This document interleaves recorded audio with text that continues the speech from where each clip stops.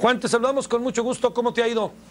Bien, Javier, ¿cómo estás? Un saludo al auditorio de Ultra. Pues aquí estamos con, con información fresca. Fíjate que el fin de semana estuvimos por el estado de Guerrero. Sí. Y el sábado 28 de abril, por ahí de las 6 de la tarde, en un domicilio de a las afueras del Tasco del Arcón Guerrero, un, eh, una comunidad que se llama Arroyo, pues un comando armado llegó y asesinó a Francisco Barquín Ceballos.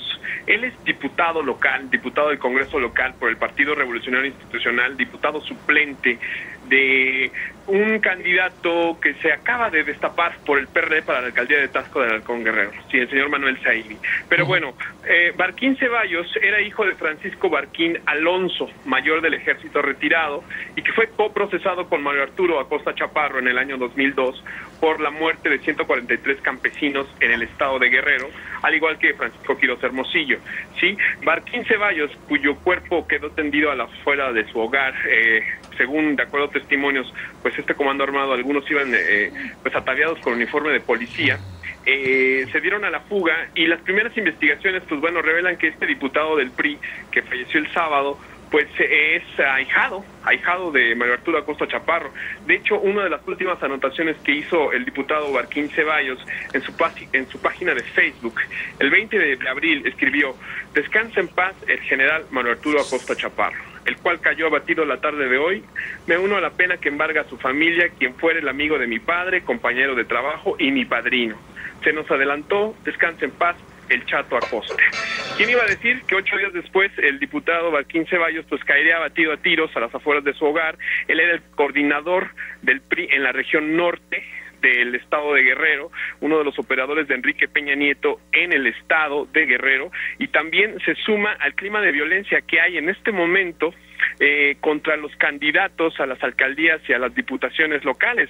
Finalmente, la muerte de Barquín Ceballos se da días después de que un comando armado intentó levantar a Salomón Majul, candidato del PRI a la alcaldía de Tasco, a las afueras de Chilpancingo, cuando iba una reunión del Comité Estatal del PRI, y también se suma a una denuncia de un secuestro express del candidato a diputado local por el Distrito 21 que comprende esta zona norte de Guerrero, que pues es uno de los, digamos, políticos jóvenes priistas que está haciendo campaña y que en cierta forma también es una de las personas que está muy cerca de la dirigencia del, del PRI en el estado de Guerrero y que en cierta forma pues su secuestro express ocurrido el jueves eh, 18 19 de abril eh, ocurrió también a las afueras de Chilpancingo justo cuando iba a esta reunión también.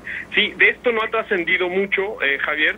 Te comento porque no quisieron hacer denuncia y en cierta forma pues el, el, clima de temor que se vive de los candidatos a las eh, diferentes eh, eh, diputaciones y alcaldías en el estado de Guerrero pues se está calentando sí hay cosas que que están pasando a nivel local que no, no han trascendido y que en cierta forma nos hablan de que hay una preocupación, no solamente del PRI, sino también del PRD. El dirigente del PRI eh, habló de que hay focos rojos en el Estado, dado que pues las condiciones de seguridad para realizar campañas son muy difíciles.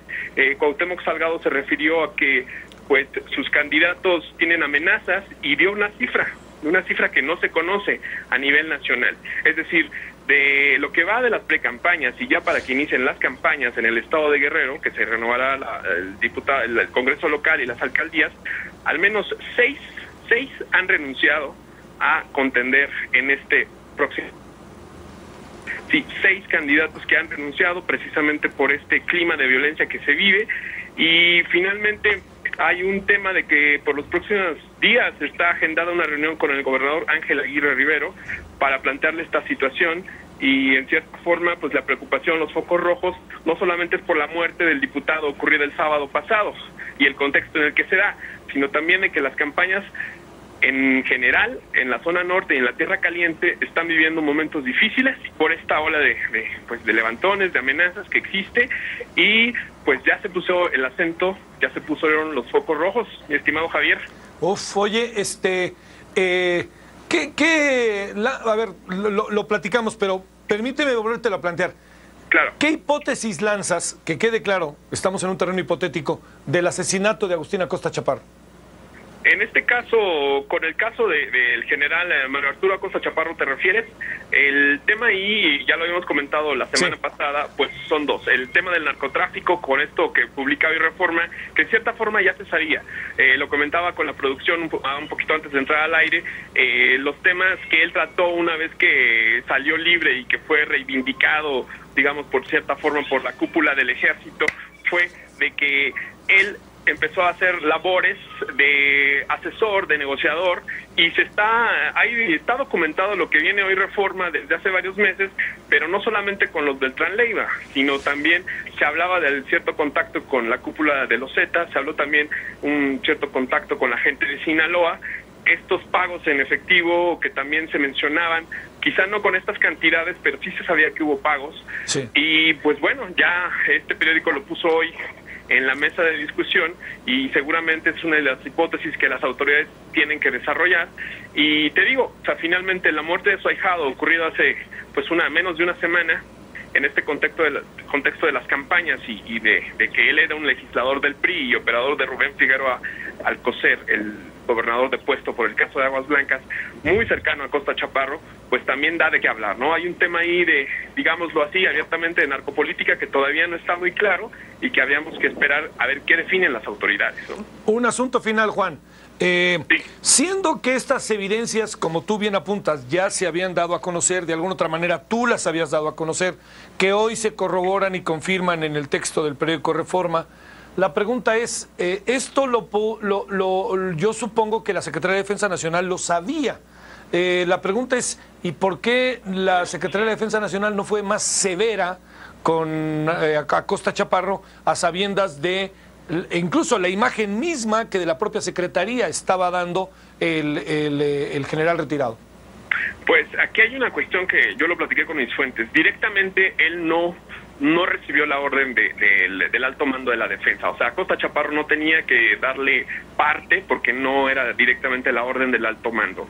Sí, como una manera de condescendencia, porque finalmente no deja de ser militar, él informaba al secretario de la defensa de la encomienda que había recibido.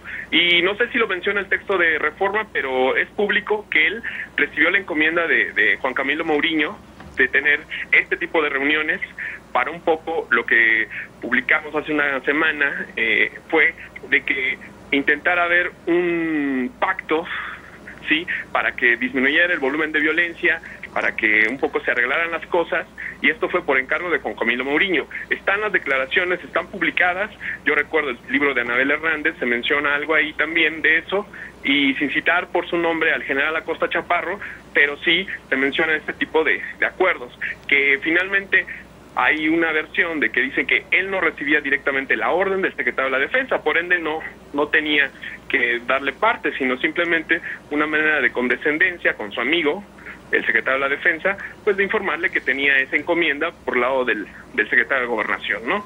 Juan, muchas gracias que estuviste esta tarde con nosotros. A ti, Javier, y, para recordarle, a nuestro auditorio que estoy en Twitter, Beledías424, arroba Beledías424, por ahí vamos a estar informando de las cosas que están pasando. Y antes de que entrara, estabas comentando lo de Sinaloa, ¿eh? Lo de Sinaloa está súper delicado. Sí, ya lo eh, oye, eh, a ver, nada más, espérame, no, no te me vayas, dame un minutito. Este, el asunto está en que no tiene ni para atrás ni para adelante, ¿no? O sea, porque pareciera que está, debe haber ahí una reacción diferente ¿no? Respecto al caso de Sinaloa por la presencia militar, federal, etcétera, pero parece que no, ¿no? Parece que no, pero finalmente esta región que tú le preguntabas a la corresponsal a cuatro horas, tres horas y media de por carretera, es una zona de que colinda los municipios de Guasave, Conchox, Ahome, es una zona que tú remontas porque pues prácticamente no hay comunicación hacia allá, pero sí es una zona donde operan grupos armados, concretamente una sección del, del, grupo de los del Tran Leiva que encabeza Isidro Flores, alias el Chapo Isidro, un hombre que está pues eh, digamos con el control de esa región norte y que es uno de los protagonistas en este enfrentamiento en territorio del cártel de Sinaloa con una gente que apoya a los del Tran Leiva y que en cierta forma logísticamente tanto el cártel de Juárez con los hermanos Carrillo y la gente de los Zetas que están ahí haciendo pues digamos eh, grupo para enfrentar a este cártel de Sinaloa. Es una situación muy delicada, dado que no se puede llegar, no es fácil el acceso en esa zona, pero sí es público, por lo menos en los colegas ahí en Culiacán, de que esa zona no de ahorita, sino de tiempo atrás, es muy difícil para trabajar y sobre todo la gente que vive ahí, los campesinos, los agricultores, pues tienen que padecer estos grupos armados, ¿no? Ya platicaremos más adelante, Javier, sobre eso.